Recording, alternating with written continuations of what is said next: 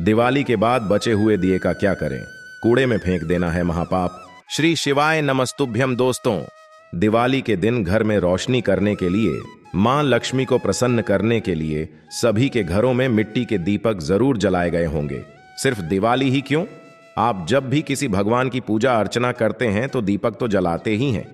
कार्तिक का महीना चल रहा है तो आप तुलसी जी के पास भी मिट्टी के दीपक जलाकर ज़रूर रखते होंगे। लेकिन सोचकर बताइए कि कहीं आप दिवाली के दिन तुलसी जी के नीचे या किसी भी पूजा पाठ में जलाए गए दीपक की बत्ती का अनादर तो नहीं करते? दिवाली के बाद बचे हुए दिए का क्या करें? कूड़े में फेंक देना है। महापाप तो आप भी हो जाइए। सावधान कहीं आप भी तो ये गलती नहीं करते हैं। पूजा पर जलाए गए दीपक या बाती को आप कहाँ रखते हैं? क्या करते हैं? घबराई नहीं है जानने के लिए कि दिवाली के बाद बचे हुए दिए और बाती का आपको क्या करना चाहिए? ये सारी जानकारी अगर आपको चाहिए तो आप इस वीडियो को पूरा ज़रूर देखें।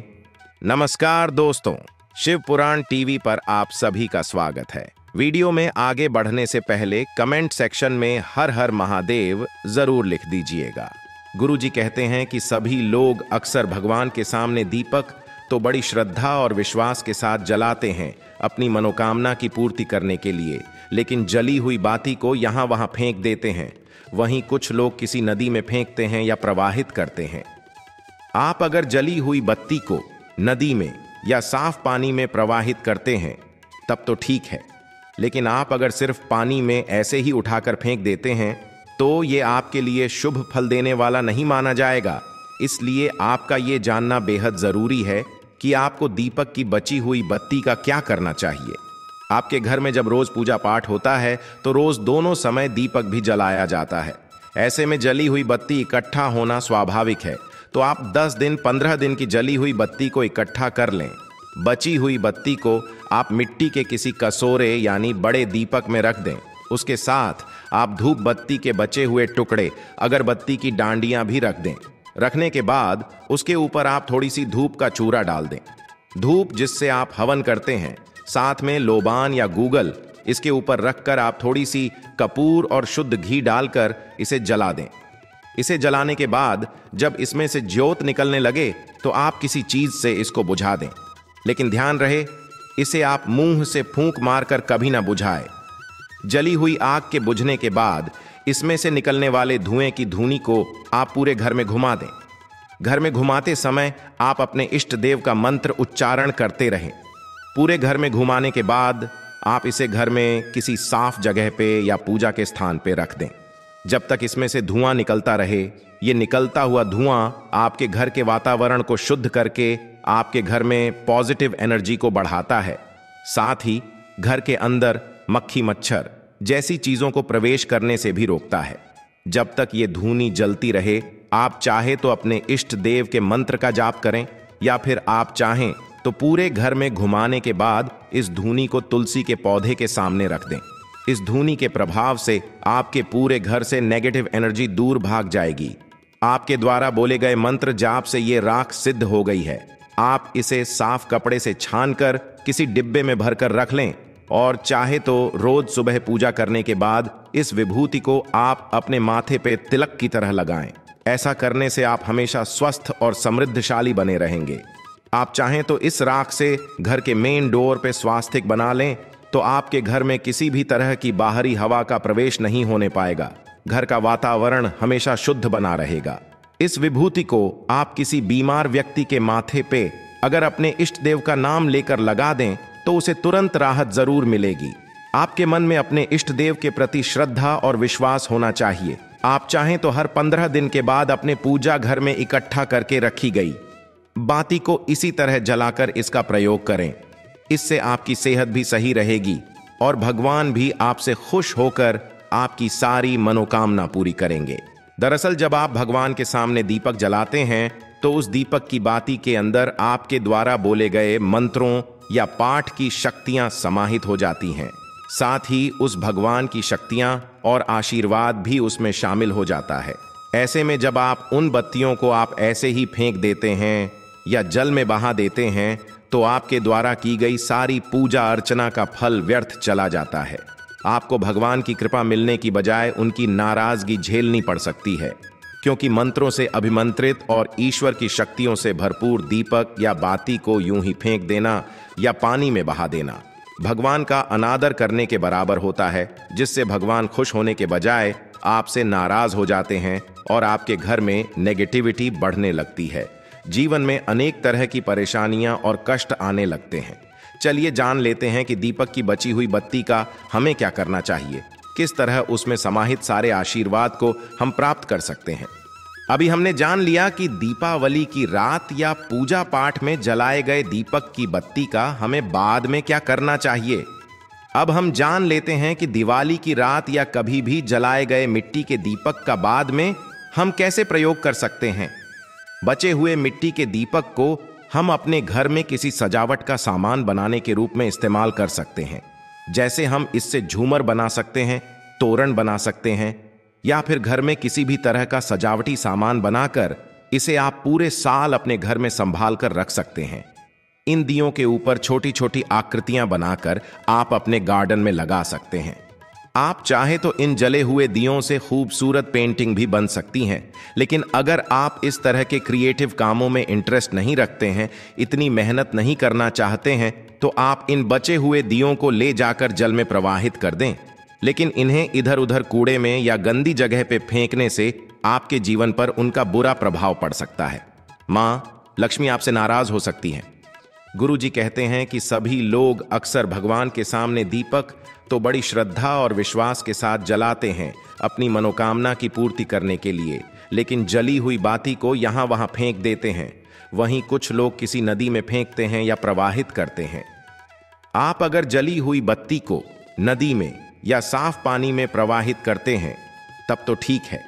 लेकिन आप अगर सिर्फ़ पानी में ऐसे ही उठाकर फेंक देते हैं तो ये आपके लिए शुभ फल देने वाला नहीं माना जाएगा। इसलिए आपका ये जानना बेहद ज़रूरी है कि आपको दीपक की बची हुई बत्ती का क्या करना चाहिए। आपके घर में जब रोज पूजा पाठ होता है तो रोज दोनों समय दीपक भी जलाया जाता है। ऐसे में जली हुई बत्ती इकट्ठा होना स्वाभाविक है। तो आप 10 दिन 15 दिन की जली हुई बत्ती को इकट्ठा कर लें। बची हुई बत्ती को आप मिट्टी के किसी कसोरे, यानी बड़े दीपक में रख दें। उसके साथ आप धूप बत्ती के बचे हुए टुकड़े, अगरबत्ती की डांडियाँ भी रख दें। रखने के बाद उसके ऊपर आप थोड़ी सी धूप का चूरा डाल दें। धूप जिससे आप हवन करते हैं, साथ में लोबान या गूगल, इसके ऊपर रखकर आप थोड़ी सी कपूर और शुद्ध घी डालकर इसे जला दें। इसे जलाने के बाद जब इसमें से ज्योत निकलने लगे तो आप किसी चीज़ से इसको बुझा दें। लेकिन ध्यान रहे, इसे आप मुँह से फूंक मारकर कभी ना बुझाए। जली हुई आग के बुझने के बाद इसमें से निकलने वाले धुएँ की धुनी को आप पूरे घर में घुमा दें। घर में घुमाते समय आप अपने इष्ट देव का मंत्र उच्चारण करते रहें। पूरे घर में घुमाने के बाद आप इसे घर में किसी साफ़ जगह पे या पूजा के स्थान पे रख दें। जब तक इसमें से धुआँ निकलता रहे, ये निकलता हुआ धुआँ आपके घर के वातावरण को शुद्ध करके आपके घर में पॉजिटिव एनर्जी को बढ़ाता है। साथ ही घर के अंदर मक्खी मच्छर जैसी चीज़ों को प्रवेश करने से भी रोकता है। जब तक ये धूनी जलती रहे, आप चाहे तो अपने इष्ट देव के मंत्र का जाप करें, या फिर आप चाहें तो पूरे घर में घुमाने के बाद इस धूनी को तुलसी के पौधे के सामने रख दें। इस धूनी के प्रभाव से आपके पूरे घर से नेगेटिव एनर्जी दूर भाग जाएगी। आपके द्वारा बोले गए मंत्र जाप से ये राख सिद्ध हो गई है। आप इसे साफ़ कपड़े से छान कर किसी डिब्बे में भरकर रख लें। और चाहे तो रोज सुबह पूजा करने के बाद इस विभूति को आप अपने माथे पे तिलक की तरह लगाएँ। ऐसा करने से आप हमेशा स्वस्थ और समृद्धशाली बने रहेंगे। आप चाहें तो इस राख से घर के मेन डोर पे स्वास्थिक बना लें तो आपके घर में किसी भी तरह की बाहरी हवा का प्रवेश नहीं होने पाएगा। घर का वातावरण हमेशा शुद्ध बना रहेगा। इस विभूति को आप किसी बीमार व्यक्ति के माथे पे अगर अपने इष्ट देव का नाम लेकर लगा दें तो उसे तुरंत राहत ज़रूर मिलेगी। आपके मन में अपने इष्ट देव के प्रति श्रद्धा और विश्वास होना चाहिए। आप चाहें तो हर पंद्रह दिन के बाद अपने पूजा घर में इकट्ठा करके रखी गई। बाती को इसी तरह जलाकर इसका प्रयोग करें।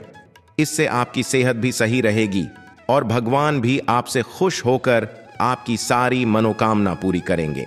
दरअसल जब आप भगवान के सामने दीपक जलाते हैं तो उस दीपक की बाती के अंदर आपके द्वारा बोले गए मंत्रों या पाठ की शक्तियाँ समाहित हो जाती हैं। साथ ही उस भगवान की शक्तियाँ और आशीर्वाद भी उसमें शामिल हो जाता है। ऐसे में जब आप उन बत्तियों को आप ऐसे ही फेंक देते हैं या जल में बहा देते हैं तो आपके द्वारा की गई सारी पूजा अर्चना का फल व्यर्थ चला जाता है। आपको भगवान की कृपा मिलने की बजाय उनकी नाराज़गी झेलनी पड़ सकती है। क्योंकि मंत्रों से अभिमंत्रित और ईश्वर की शक्तियों से भरपूर दीपक या बाती को यूँ ही फेंक देना या पानी में बहा देना। भगवान का अनादर करने के बराबर होता है, जिससे भगवान खुश होने के बजाय आपसे नाराज़ हो जाते हैं और आपके घर में नेगेटिविटी बढ़ने लगती है। जीवन में अनेक तरह की परेशानियाँ और कष्ट आने लगते हैं। चलिए जान लेते हैं कि दीपक की बची हुई बत्ती का हमें क्या करना चाहिए। किस तरह उसमें समाहित सारे आशीर्वाद को हम प्राप्त कर सकते हैं? अभी हमने जान लिया कि दीपावली की रात या पूजा पाठ में जलाए गए दीपक की बत्ती का हमें बाद में क्या करना चाहिए? अब हम जान लेते हैं कि दिवाली की रात या कभी भी जलाए गए मिट्टी के दीपक का बाद में हम कैसे प्रयोग कर सकते हैं? बचे हुए मिट्टी के दीपक को हम अपने घर में किसी सजावट का सामान बनाने के रूप में इस्तेमाल कर सकते हैं।